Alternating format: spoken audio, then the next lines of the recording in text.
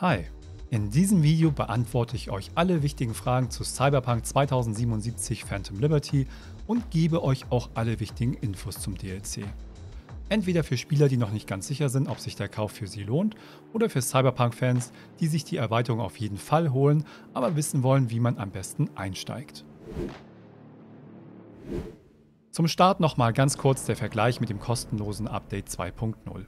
Fast alle Gameplay-Änderungen wie die Neuerung an Skilltrees, Perks, Cyberwares, Polizeisystemen, Combat KI, Fahrzeugkampf und Loot sind im Patch 2.0 mit dabei. Und auch das neue Interface sowie die grafischen Verbesserungen sind dort enthalten. Phantom Liberty bringt ein neues Gebiet mit eigener Story, Quests, NPCs und Bossfights.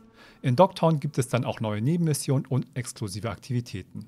Und zudem sind auch der neue Relic Skill Tree, die neuen Items und das Level Cap von 60 auf den DLC beschränkt. Wenn ihr detailliertere Infos zu den einzelnen Punkten wollt, schaut einfach meine Reviews zu 2.0 und Phantom Liberty an, dort erkläre ich das genauer. Dazu einfach oben rechts hier in die Anmerkungen klicken oder in der Videobeschreibung ist auch der Link.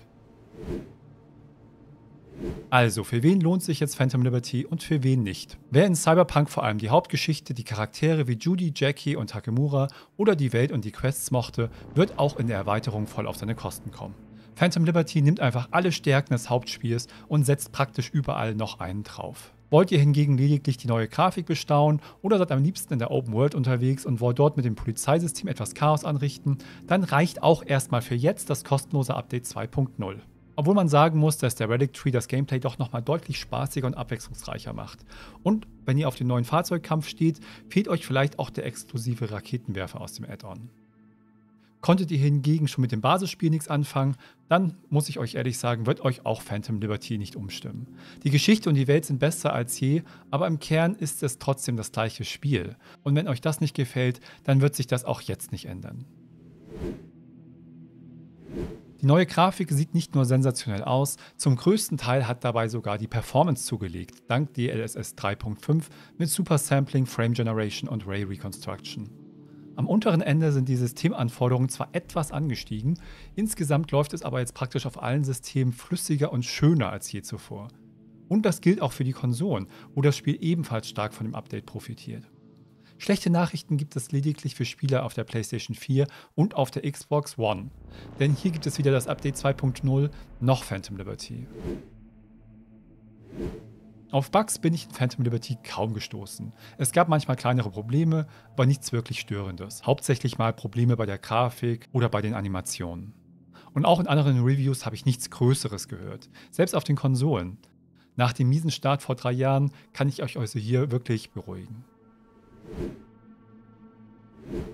Die Main Story in Phantom Liberty umfasst ungefähr 20 Stunden Spielzeit.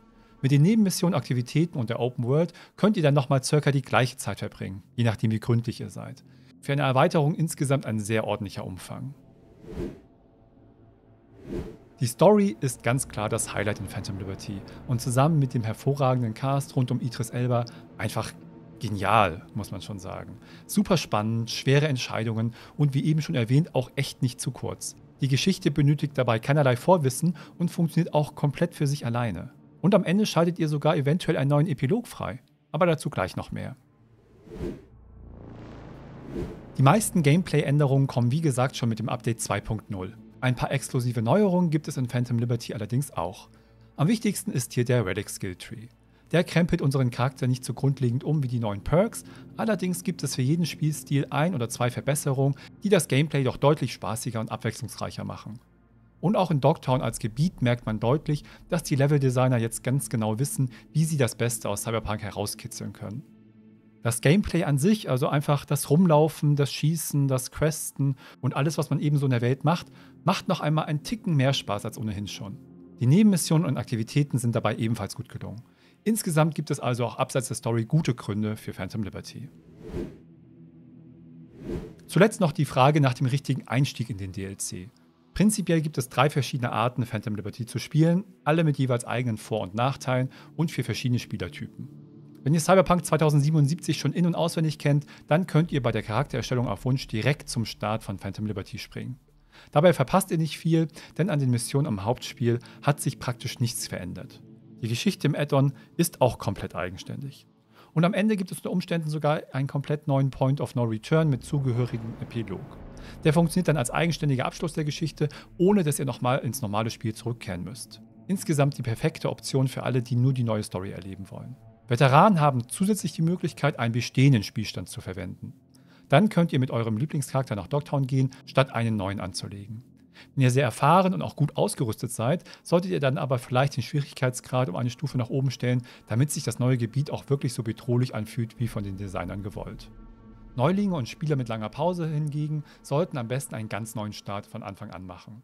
Damit erlebt ihr eine durchgehende Geschichte und das ganze Spiel wirkt wie aus einem Guss. Dabei würde ich euch sogar empfehlen, nicht unbedingt direkt nach Dogtown aufzubrechen, wenn ihr im zweiten Akt nach der Quest Transmission zum ersten Mal von Songbird kontaktiert werdet. Es kann sich durchaus lohnen, erst noch ein bisschen weiter in der alten Welt zu questen oder die Romanzen zu verfolgen, denn in Phantom Liberty wird er ja teilweise drauf eingegangen. Und wie gesagt, kann es ja abhängig von euren Entscheidungen auch komplett in Dogtown zu Ende gehen. Aber am besten macht ihr euch einfach gar nicht so viele Gedanken darüber und folgt einfach dem natürlichen Verlauf eurer eigenen Story. Das fühlt sich dann auch am besten an. Und damit habe ich euch alles wirklich Wichtige über Phantom Liberty gesagt. Dann brauchen wir das Video auch mal nicht künstlich über die 8 Minuten Werbelänge bei YouTube ziehen. Und ob ihr liken oder abonnieren wollt, wisst ihr auch selber. Wir sehen uns dann hoffentlich im nächsten Video. Bis dann. Ciao.